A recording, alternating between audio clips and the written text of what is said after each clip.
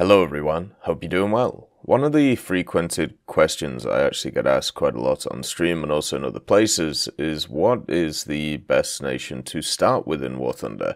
And the reason is, is I'm guessing there's a lot of new players. Uh, obviously, over the last few years, uh, War Thunder itself has had a massive bump in popularity. Uh, it's been growing what seems like exponentially over the last little bit. And I thought I would use this video to try and outline which nations I think are the best for starting in the game uh, when it comes to ground, aviation, and naval. I'll also do a little section about the tech trees that I enjoy the most uh, when it comes to different parts of the game. One thing to note uh, before we get into it is just remember I don't particularly play helicopters that much. Uh, so I can't really give too much insight on them, but everything else I am able to. Before we get into which nations I'm best, and if you want to skip to these, you can. I put chapters in the video so you can just go to each area. I'm going to talk about my philosophy of generally playing the game. So when it comes to War Thunder, the things that I focus on is spading vehicles or fully modifying them basically. And in order to fully modify them, you have to play them enough to be able to get all of the modifications. And normally if you do that, it unlocks the next vehicle in the line that you're playing and then you can, you know, go from there. It's something I've been doing recently on stream with the Israeli tech tree, kind of spading one vehicle, researching the next with that spade, and then just keep going over and over again and it's how I make SL, um, and it's also how I make RP. It works very efficiently, and it works incredibly well. One of the things to also note is I turn off auto repair. The reason for this is because it saves SL, and everybody should turn off auto repair uh, while you are going through vehicles. But generally, what I like doing, and what I've done for many years now, is I try and keep all of my nations equal uh, when it comes to what ranks I'm at. So back in the day where everything was rank 4, I would play America until I got into rank 5, then I would skip to Germany, get them into rank 5, skip to the Soviets, get them into rank 5, and so on and so forth as I went across the tree. Now, uh, I think this generally should be done when it comes to the game, so you can experience all different aspects of it, and also experience all the different allies and enemies that you're going to be facing or with, so therefore it makes it easier for you to work out, you know, what's going on, and uh, how to uh, fight everything, basically. Uh, the other thing to also note uh, when it comes to this idea is uh, what I would personally do if I was starting the game again with all the knowledge I had. I would grind one nation to rank 3, so I could do the dailies every day, to do the Battle Pass stuff, and also to do the events, and all of the other nations during the time where I've already done my dailies, and when I've done uh, the events and stuff, I would then grind the other nations to get them to rank 3, and then I'd be able to use them for stuff like dailies and stuff like events as well. So therefore there is always a reason to be able to be playing different nations, and if you kind of hit a stumbling block on one of them, you can then switch to another to have a bit of fun. The first nation out of three is America, and the simple reason why is because even though America is one of the largest tech trees uh, when it comes to aviation, ground, and naval, it also is the tech tree which has the most chance of expansion in the next few years. Pretty much every um, every update, America gets something quite big, whether it's a jet, whether it's a naval vehicle, or whether it's a ground vehicle, and also has an incredibly strong helicopter tree. So they have pretty much everything you would ever want. There's a reason why uh, in a realistic, for, ex uh, for example, for many years now, especially at the jet level, it's been everyone else versus America, because America really does have kind of the uh, it kind of has the overall uh, fact that it has everything that it needs, so a lot of people play it. It's also not too bad of a grind. Um, when you have more vehicles in a tech tree around similar battle ratings, it means that you can form lineups when it comes to ground realistic and when it comes to naval, and this makes it a lot easier to play because you always have backup vehicles if you die, which are very close to uh, the ones that you know you normally play. And also at the same time, they have great CAS elements uh, for both game modes as well. Like everything is nice for America because they just have so many options. This does mean that the grind is generally a little bit longer, but if uh, you do what I was talking about in the philosophy area, basically the idea of getting them to rank 3 and then maybe uh, branching out, that won't be too much of an issue because you always know that you'll have a stable to be able to go back to. They also have some really nice things, such as a lot of the Shermans in ground have access to stabilizers, meaning that you can get used to them pretty early on. Um, and also at the same time, you can pretty much always guarantee the first shot off in, in all of the engagements. The only place that they struggle with, kind of, at the low tiers is uh, armor. Uh, their armor isn't the best, but the mobility is good and the guns are good. So therefore, you can kind of make up for that.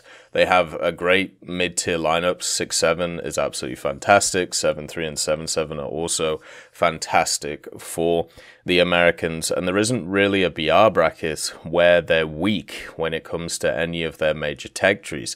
And as I said, they're also the nation which is going to be expanded upon the most. So you know if you're starting America or if you know if you're getting into it, you're going to have the most toys and you're also going to have the most room for future content. It's why it's so appealing uh, to a lot of people in general. It's a really good tech tree it's very hard to uh, say really a bad word against it.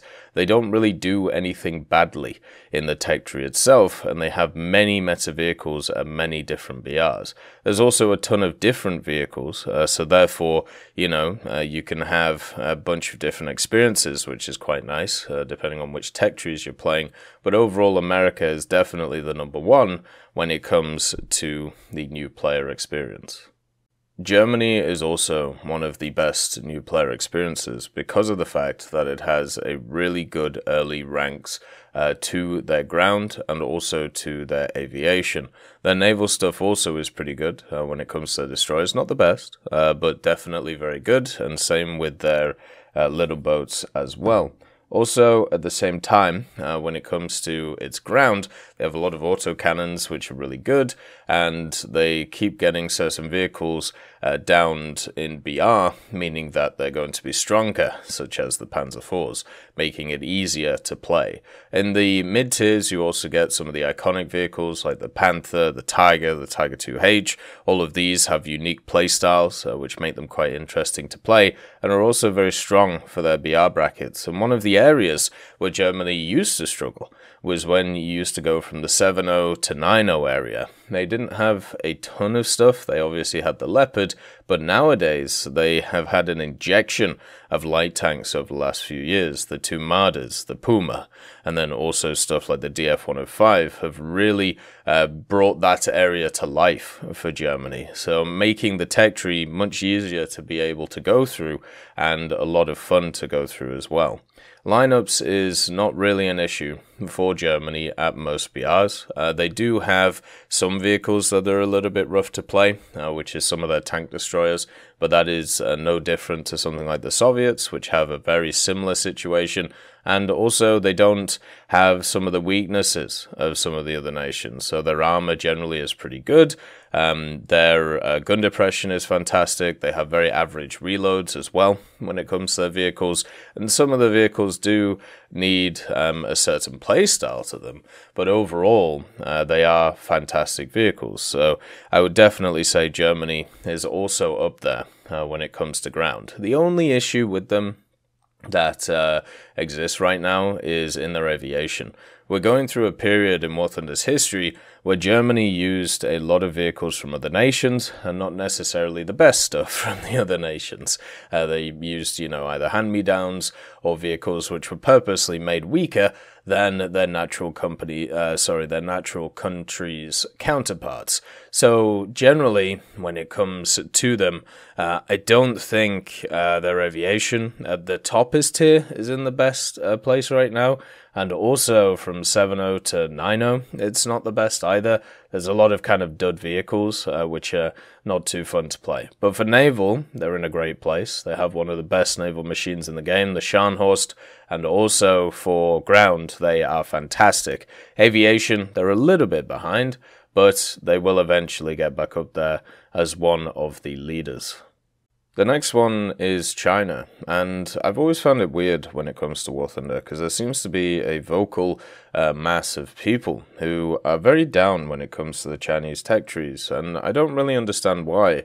The Chinese tech trees in themselves offer a lot of variety in gameplay, and also they offer a lot of tastes of other tech trees, meaning that if you're a new player to the game, it means that you yourself can experience a bunch of different playstyles and a bunch of different vehicles before maybe exploring those options more in the other tech trees.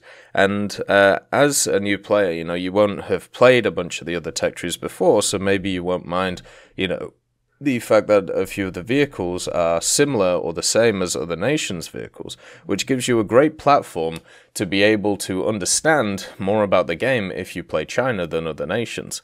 Uh, being able to play stuff such as, you know, the uh, early tiers where you get some American vehicles, you get some Soviet vehicles, you get some other nations' vehicles, it pretty much means that you are able in one place to just be able to gain uh, more knowledge about stuff that you fight and also stuff that you play as. And I really think, you know, that's very useful, especially since a lot of the other nations' vehicles, which are seen as meta, or at least close to, are found in the Chinese tech tree in the early tiers. Its only issue really is its top tier.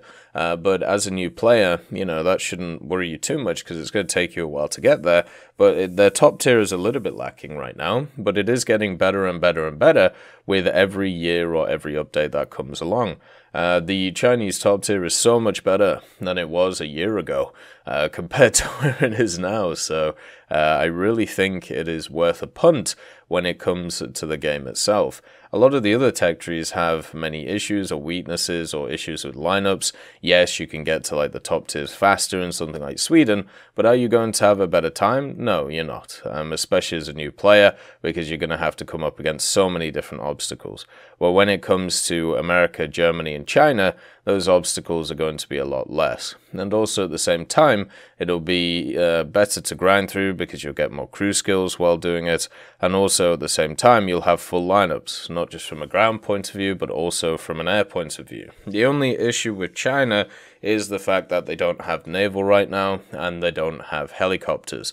The helicopters tree we know is being worked on, so I'm sure it'll be here at some point.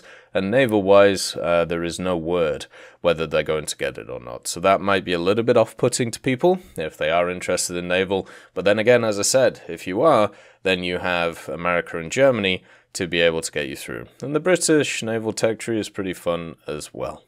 And as for my favourite nations when it comes to grinding, it's uh, pretty simple. Italy for aviation.